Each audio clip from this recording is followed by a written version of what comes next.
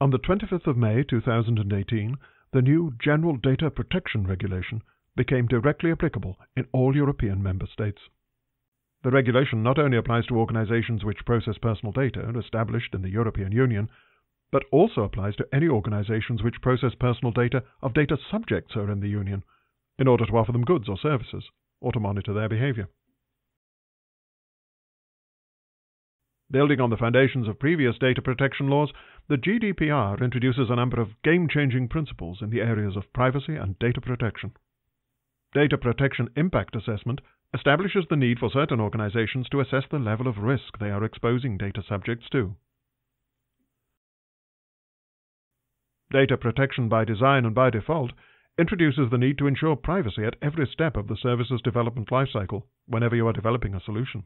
This includes configuring the service to minimize the amount of personal data that you are collecting. Right to be forgotten introduces the right of a person to request the deletion of his or her own personal data. The right to be forgotten is one of the most difficult requirements to be implemented because of some technical challenges that it might generate. Joint liability. The GDPR formalizes the joint liability of the data controller and data processors. Increased fines. The regulators introduce mechanisms to leverage fines for non-compliance potentially up to 20 million euros, or in the case of an undertaking, up to 4% of the total worldwide annual turnover, whichever is higher.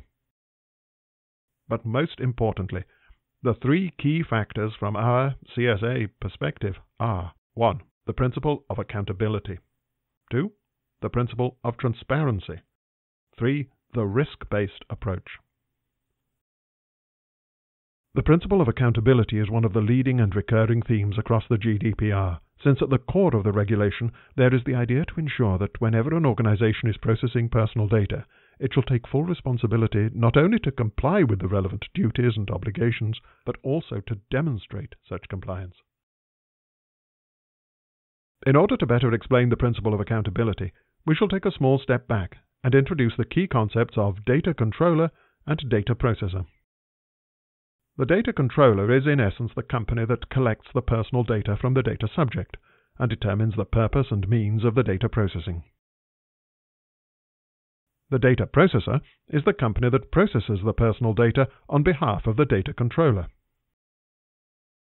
According to the principle of accountability, the organization collecting and or processing personal data should behave as a good steward of the data during its whole life cycle. In this regard, the idea of due diligence and control over any third party participating in the processing of the personal data is of paramount importance. The second key principle of GDPR is transparency. The principle of transparency is directly connected with that of accountability. It is there to ensure that all parties involved in the processing activities have a clear understanding of how personal data is taken care of within the processing supply chain. For instance, in order for a data controller to be able to enforce the key security measures they are responsible for, there has to be a clear understanding and visibility of what the processor is doing. For example, let's assume Ms. Martin, the data subject, buys services from WeShare 2000, an online file sharing service provider. WeShare 2000 doesn't own a data center or cloud infrastructure, but acquires the necessary capabilities from MegaCloud, a cloud infrastructure as a service IaaS provider. In this scenario, company WeShare 2000 is the data controller. WeShare 2000 is the data controller, and in order to be a good steward of Ms. Martin's data, it should provide her with all the necessary details of how her personal data is handled and protected, and at the same time it should require that MegaCloud follow its instructions during the processing, as well as requiring evidence that the rules are followed. That is why transparency is so important, as it serves the purpose of making sure that the data subject is aware of how her data is treated, and the data controller can keep control of how the data processor, and eventually any other sub-processors, are taking care of the personal data they have been entrusted with. The third key game changer introduced by GDPR is the idea of a risk-based approach. In order to maintain security and prevent processing in infringement of the GDPR, companies must evaluate the risks inherent in the processing and implement measures to mitigate those risks. These measures should ensure an appropriate level of security including confidentiality, taking into account the state of the art and the costs of implementation in relation to the risks and the nature of the personal data to be protected. A sound approach in line with the most basic rules of risk management is that you assess the risks and then you apply measures to protect your assets, personal data in this case, taking into account the state of technology and the resources at your disposal.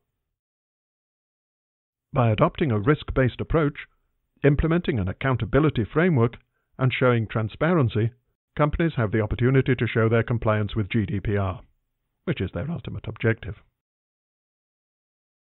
The GDPR foresees the use of codes of conduct, Article 40, and certifications, Article 42, as tools for demonstrating compliance. Since 2012, the Cloud Security Alliance, through its CSA Privacy Level Agreement (PLA) working group, has developed tools for 1. Supporting privacy compliance and transparency. 2. Harmonizing the communication between cloud service providers, cloud users, and industry regulation.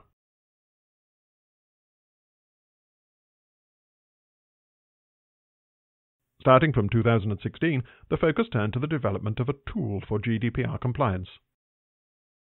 This led to the creation of the CSA Code of Conduct for GDPR compliance. The CSA's objectives were to 1. Provide cloud service providers, CSPs, with a tool to achieve GDPR compliance and demonstrate it through self attestation or third party certification. 2. Provide cloud customers with a tool to evaluate the level of CSP data protection compliance. The CSA Code of Conduct is structured in two main components. One, a technical standard code of practice template, aligned with the GDPR requirements and additional guidelines issued by the European Data Protection Board, EDPB. 2. A governance structure that oversees the management of the technical standard, its evolution, and the mechanisms of adherence.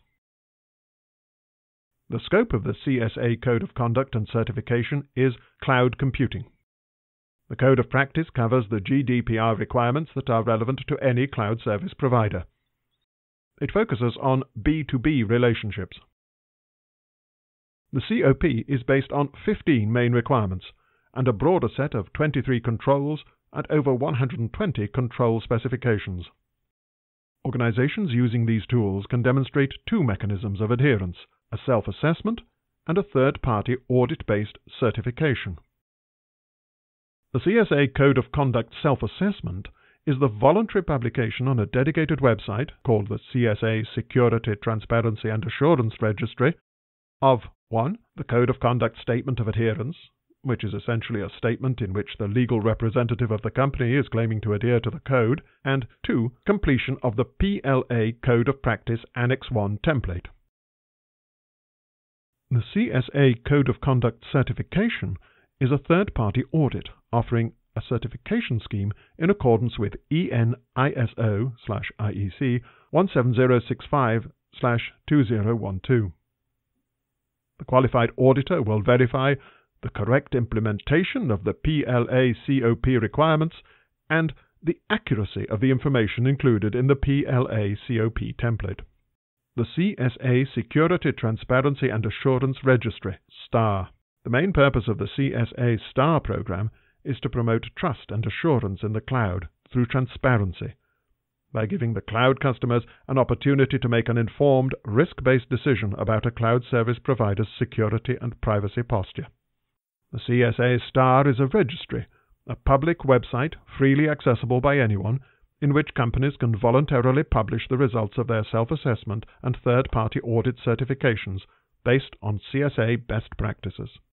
As organizations continue their efforts to comply with Europe's most recent regulation, the area of data protection will continue to be an evolving topic for regulators around the world. CSA is committed to working across the globe to provide tools like CSA Star for both cloud service providers and cloud customers to ensure compliance with future regulations, alongside trust and transparency in the market. For more information, visit www.cloudsecurityalliance.org.